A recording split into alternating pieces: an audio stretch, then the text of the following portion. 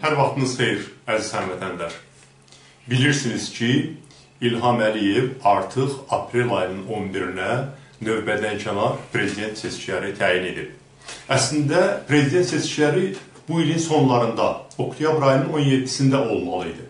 Amma 6 ay irəli çəkib seçkiləri İlham Əliyev. Və hamı düşünür ki, niyə görə belə edib? Biz bilirik ki, İlham Əliyev və onun komandası üçün hakimiyyətdə olmaq həddindən artıq qiymətlidir. E, baxmayaraq ki, o 2013-cü ildə qeyri-legitim yolla prezident seçilib, amma hər halda formal olaraq daha 6 ay prezidentlik müddətini davam etməyə imkanı olduğu halda niyə görə oktyabr ayını gözləməyib aprel ayında seçkiləri keçirmək istəyir? Nəyə nail olmaq istəyir? Hansı motivlərlə özünün səlahiyyətindən, dırnaqarası səlahiyyətindən 6 ay kəsmiş olur. Bəli, heç də xoş gündən deyil bu. İlham Əliyev yaxşı bilir ki, Azərbaycanda baxmayaraq ki, seçki saxtakarlığı mexanizmi formalaşıb və onun formalaşdırdığı seçki komissiyaları dövlət məmurlarının iştirakı ilə istənilən seçkiləri saxtalaşdıra bilir, amma xalqın içində çox böyük bir narazılıq var seçkilərin hər dəfə saxtalaşdırılmasından. Ona görə də ehtiyatlanır. Nələrdən ehtiyatlanıb və nəyə görə seçkiləri 6 ay önə çəkib? Birincisi, ən vacib məsələ budur ki, bilirdi ki, ölkənin müxalifəti, onun aparıcı qüvvəsi mart ayından başlayaraq azad seçkilər uğrunda böyük bir ümummilli kampaniya başlatmaq niyyətində idi. Mən bundan əvvəlki çıxışımda bunu anons etmişdim biz sadəcə olaraq daha uyğun iqlim şəraiti gözləyirdik. Çox təəssüf ki, mən şəxsən bununla barışmıram, amma Azərbaycanda bir qayda olaraq dekabr, yanvar, fevral aylarında mitinqlər çox da kütləvi alınmır. Mart ayından oktyabr ayına qədər bizim azad seçkilər uğrunda 6 aylıq böyük bir kampaniya aparmaq imkanımız olacaqdır və bu zaman bizim ümumxalq hərəkatına başlama şansımız daha çox olurdu bunun qarşısını almaq üçün seçkiləri irəli çəkib. İndi bizim iki ay cəmi vaxtımız var. Onun da bir hissəsi e, ağır qış dövrünə düşür. Bir hissəsi isə ən vacibi seçki kampaniyası, təbliğat, təşviqat dövrünün yarısı da Novruz bayramı günlərinə düşür.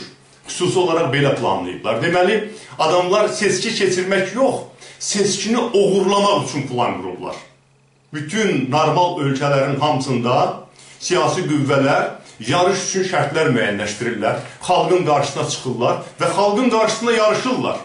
Amma Azərbaycan iqtidarı yarış iqtidarında, rəqabət iqtidarında deyil, seçkini necə daha rahat oğurlayacağının planını qurur. Baxın, bir vaxtlar Azərbaycanda prezident seçkilərinin kampaniya dövrü 4 ay davam edirdi. İndi onu 2 aya endiriblər və 2 aylıq kampaniyanın yalnız 21 günü təbliğat dövrünə təsadüf edir. Vaxt vardı, bu 40 günlük təbliğat dövrü var idi. Onu 2 dəfə azaldıblar. O 21 gün təbliğat günlərinin də xeyli hissəsi bu dəfə elə salırlar ki, Novruz bayramından sonraki bayram günlərinə düşsün. Beləliklə, xalqı oyundan kənar qoyaraq, xalqın iştirakına imkan verməyərək, müxalifətin təşkilatlanmış formada müqavimətinə imkan verməyərək xəlvətcə seçkiləri oğurlamaq planını qurublar. Bu birinci məsələdir. İkincisi, İlham Əliyev öz komandası daxilindəki ziddiyyətlərin günü-gündən artmasından çox narahatdır. Hətta öz mətbuat orqanlarında bu barədə açıq müzakirələr aparırlar artıq komanda daxili ziddiyyətlər o həddədir ki, İlham Əliyev heç vaxt bilmir ki, onun daxilindəki həmin bu ziddiyyətlər nə zaman partlayış verəcək.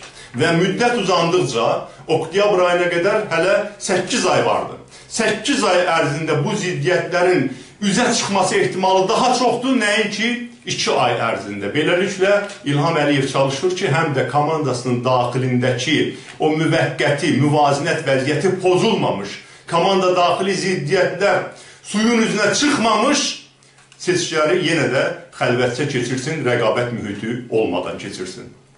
Növbəti İlham Əliyevi qorxudan və seçkiləri önə çəkməyə sövq eləyən səbəb beynəlxalq vəziyyətlə bağlıdır. Bilirsiniz ki, ötən ilin sentyabr ayında Azərbaycan iqtidarı 3 milyard dollarlıq rüşvətlə yaxalandıqdan sonra Avropanın 8 ölkəsində Azərbaycan iqtidarı ilə bağlı cinayət işlərinin araşdırması gedir. Rəsmən dövlət səviyyəsində prokurorluğun məşğul olduğu cinayət işləri gedir. Və bu işlər üzrə adamların həbs olunması gözlənilir. Hakimiyyət narahatdır ki, ilin sonuna qədər bu istintaq işləri başa çatar, konkret həbslər ola bilər. Hətta Azərbaycan hakimiyyətinin hansısa təmsilçiləri də həbs oluna bilər Avropa ölkələrində. Onlar etirafçı olub Azərbaycan hakimiyyətinə qarşı ifadə də verərlər və beynəlxalq təzyiqlər bu korrupsionerlərə qarşı artar. Hakimiyyəti narahat edən, onu növbədən kənar prezident seçkiləri keçirməyə sövq eləyən ən vacib səbəblərdən biri ölkədə sosial-iqtisadi böhranın günü-gündən dərinləşməsidir. Baxın, 2015-ci ildən sonra 3 ildir ki, neft qiymətlərinin düşməsi və Azərbaycanda sosial-iqtisadi böhranın dərinləşməsindən sonra biz ardıcıl islahatlar tələb etsək də 3 illik müddət havaya sovrulub. Heç bir islahat aparılmayıb. Ölkədə sosial-iqtisadi vəziyyət günü-gündən pisləşir. Ötən il nisbətən nisbi nəticələrlə ilin başa çatması neftin qiymətinin bir qədər qalxması ilə bağlıdır. İndi bütün dünya ekspertləri proqnozlaşdırırlar ki, ilin ikinci yarısına neftin qiymətləri düşəcək.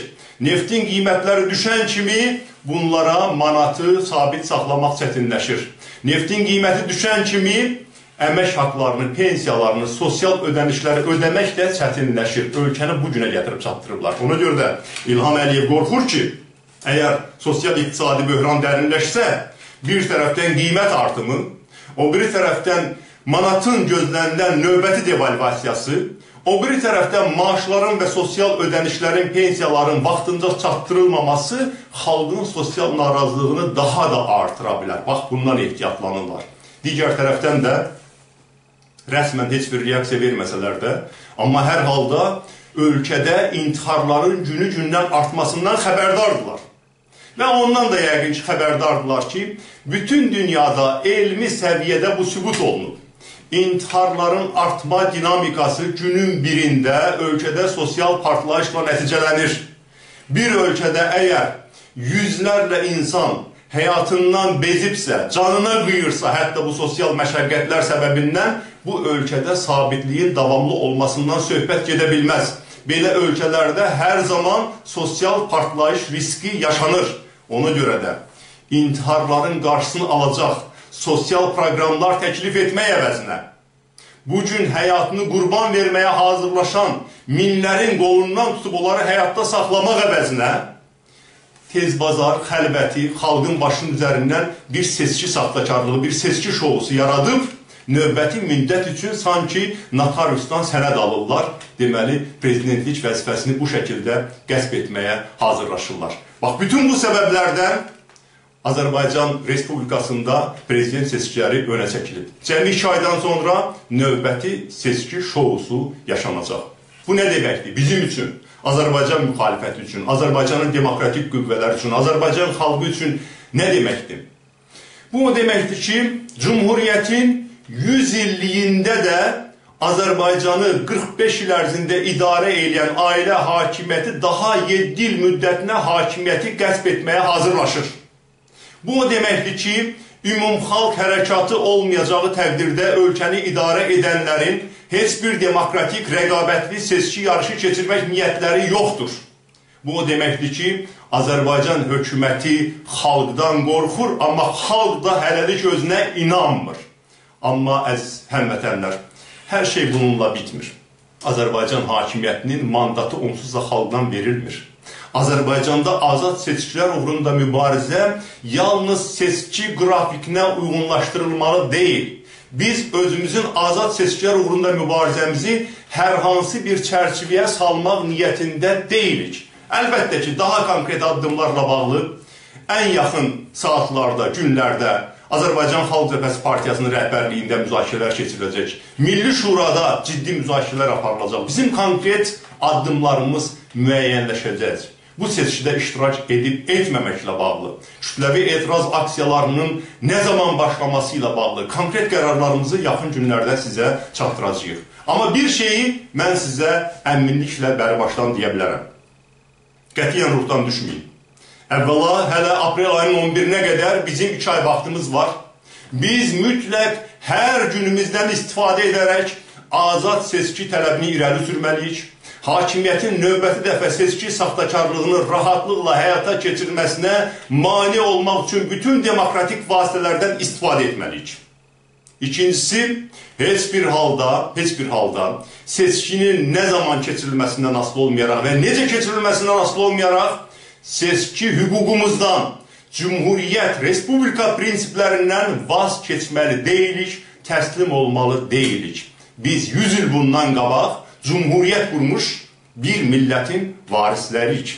Bizim haqqımız yoxdur ki, 21-ci əsrdə mütləq bir ailə hakimiyyəti ilə barışaq. Ona görə də bizim mübarizəmiz heç bir seçki cədvəli ilə məhdudlaşdırıla bilməz.